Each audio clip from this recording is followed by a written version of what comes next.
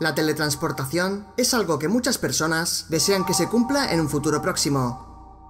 La idea de moverse grandes distancias en apenas un instante parece por ahora inalcanzable, siendo por el momento propio de la ciencia ficción. Pero lentamente en las últimas décadas, nuestro conocimiento científico en múltiples ámbitos aumenta, y con ello, las teorías de cómo conseguir que el teletransporte sea una realidad. O ya se ha logrado, eso podemos pensar, debido a una reciente entrevista a pie de calle de la BBC, donde aparentemente grabaron a un niño teletransportándose en directo. El Huffington Post fue el periódico online que se hizo eco del extraño fenómeno que ocurrió en una reciente emisión de la cadena BBC cuando entrevistaban a personas sobre las últimas noticias políticas del Reino Unido. Pero pronto, la entrevista se acabó convirtiendo en polémica cuando un niño salió de la nada detrás de una persona que opinaba sobre la primera ministra Theresa May, Veámoslo. I'm a Labour supporter, but we do like Theresa May's honesty and how she's for us. Well, that's uh, some view.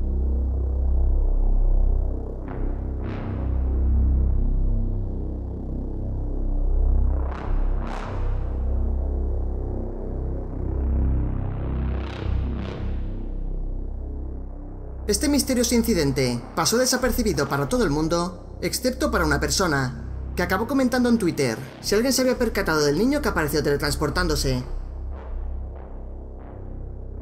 El vídeo fue publicado en las redes sociales y rápidamente se volvió viral, llenándose de comentarios sobre el extraño incidente.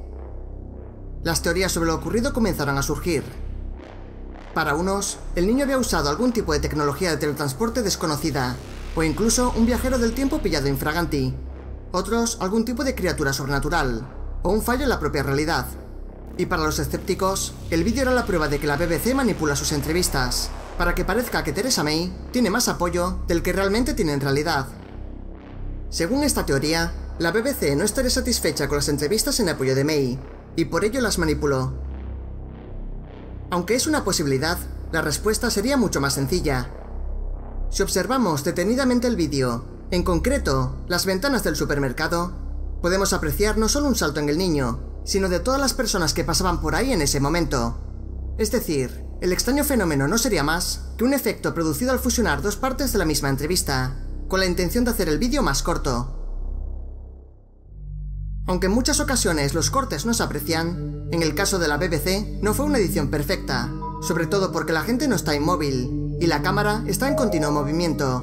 De ahí que parezca que el niño se teletransporta. Sin embargo, el fallo no está solo en el niño, sino en el reflejo tras la mujer, o incluso en sus propias gafas y en la expresión de su cara.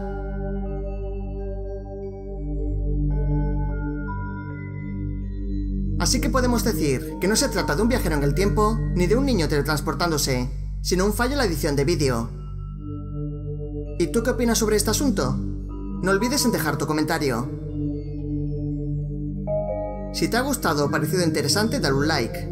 Suscríbete si eres nuevo en el canal y activa la campanita para avisarte de nuevos vídeos. Nos vemos hasta la próxima.